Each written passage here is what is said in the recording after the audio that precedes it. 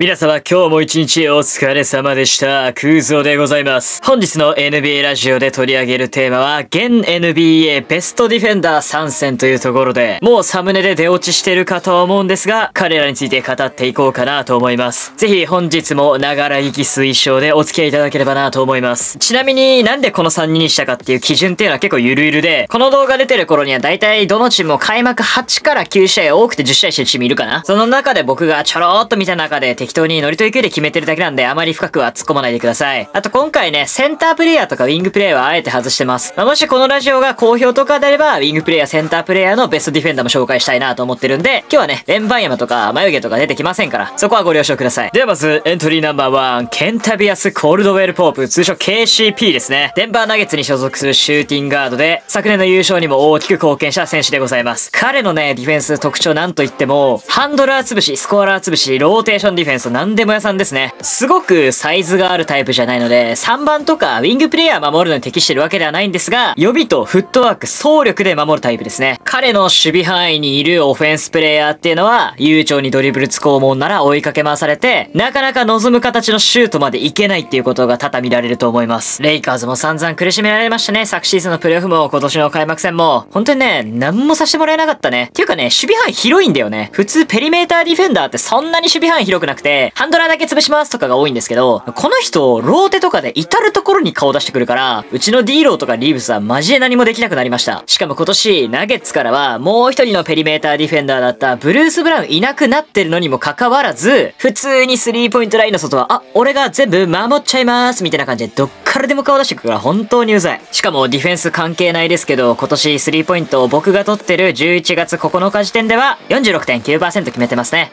はい、理想的な 3&D ですね。いつレイカーズに帰ってきてくれるんでしょうか？続いてエントリーナンバー2、ダービオン・ミッチェル。まあ、デイビオン・ミッチェルって発音する人もいるかな？サクラメント・キングス所属のポイントガードなんですが、おっと、デイビオンが NBA の3選のディフェンダーに入るかという方もいるかもしれませんが、いや、ちょっとマジでね、見てほしいんだよね。ダービオンにつかれたハンドラー何もできなくなるから。彼のディフェンスの特徴はもうハンドラー潰しですね。 KCP とかよりローテとかで顔は出してこないんですけど、フルコートでハンドラーに全てついていける走力とフィジカルタイプですね。実はサイズはあまりないというか結構低身長なんですよ。183センチぐらいっていうところで、まあまあまあまあディフェンスで狙われがちなサイズ感してますけども、わかんない。不思議なぐらいハンドラー守るのがうまい。ウィングスパンもめちゃちゃ長くはないんでね、194センチだから身長に対して10センチ長いから長いっちゃ長いけど、まあでもすごく長いわけでもないんで、やっぱりディフェンスのコースに入り込むだけのフットワークの軽さとフィジカルで当たり負けしない。生地、今日挙げる他の二人と違って、スタメンじゃないから隠れがちではあるんだけど、30分出せばオールディフェンシブに選ばれてもおかしくないディフェンス力は持ってると僕は本気で思ってます。ぜひね、キングスの試合ちょっと見てみてください。今、フォックスが怪我でいないんでスタメン昇格してますんで、その実力は見れると思うんですけど、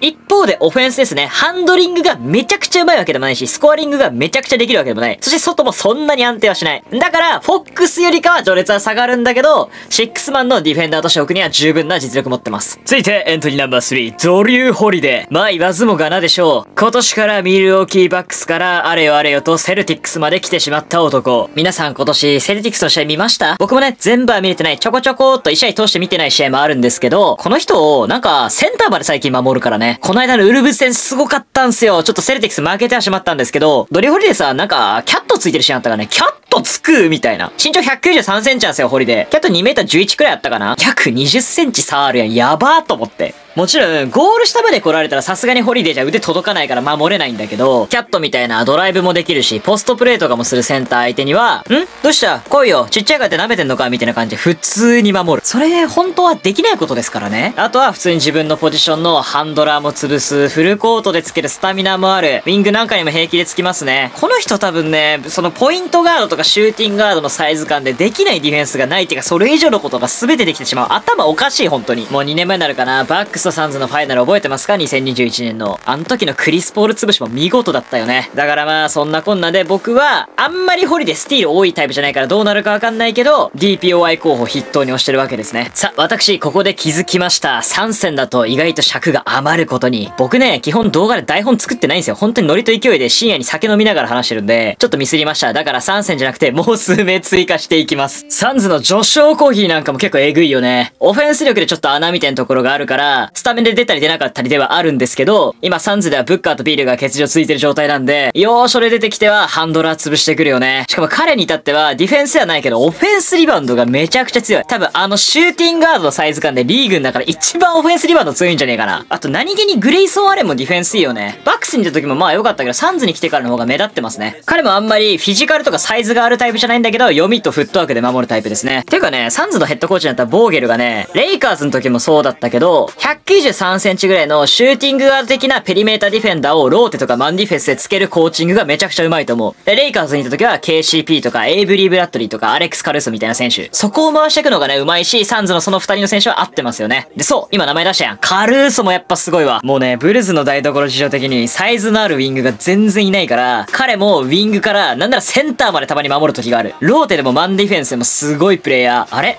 なんで出してんだ？こんな KCP とかカルーソとか。なんで取っておかないんだ？黄色と紫のチームは。ちょっとあと一人だけ上げさせてほしいです。ジェイレン・サックスなんかめちゃくちゃディフェンス良くなってますね。この間マジック戦でね、もう2回やったんですけど、1試合はやられてしまいました。彼もね、あんまりフィジカルが強いタイプじゃないんですけど、読みとフットワークでしっかり守ってくるタイプですね。オフェンスは、ゴンザガ大学で活躍してた時よりは、まだそんなにですけど、ディフェンスではもう一級品なんで、マジックのローテディフェンスに完全に組み込まれてますね。てかあれ、あの、ドラフトの時に付き合ってたさ、大学で有名な女子バスケの選手とまだ付き合ってんのかな？俺マジで、彼女可愛い NBA 選手全員嫌いなんだよな。というわけで本日のゆるゆるのラジオいかがだったでしょうか？まだね、上げてない選手いっぱいいると思います。マーカススマートとかも上げてないし。だから皆さんの思う、あ、今シーズンのこのペリメーターガードディフェンダーめちゃくちゃいいっすよとかあればぜひコメント欄で教えてください。また私、こんな感じでレイカーズの試合がない時はめんどくさくてラジオ動画上げてますんで、ぜひ皆さんのネタの方も募集しております。というわけでまた別の動画でお会いしましょう。さよなら